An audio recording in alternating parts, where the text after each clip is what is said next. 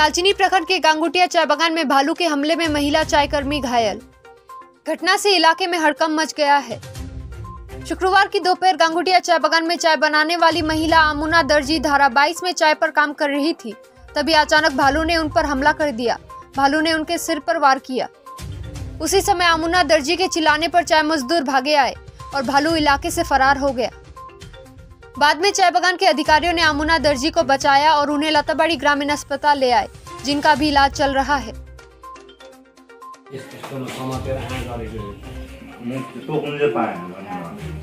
मलाई त्यसले जस्तो लाग्यो हो टोक्यो त्यसले मलाई।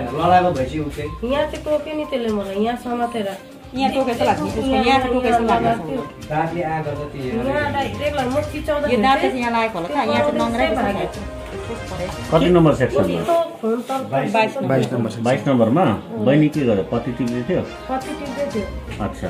अन्त उताबाट कराउँदै आयो। सुनेर सबैजना भाग्यो म पनि भाग्दै थिएँ के थियो भालु?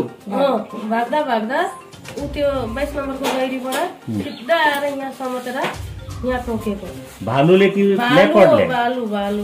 भालुले? भालुको त्यो अस्ति भएको थियो एउटा समाते जस्तो लागेको थियो कालो थियो भालु थियो त्यो। अच्छा। तिन नम्बरमा।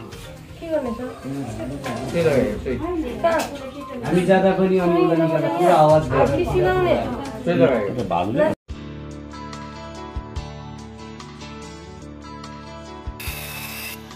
Himalayan Optics Eye Care and Contact Lens Clinic. Computer eye testing any type of power glasses, branded glasses, and any type of branded sunglasses available here. Then, why to wait? Come fast our shop. Himalayan optics Hanuman Mandir road Jaigaon.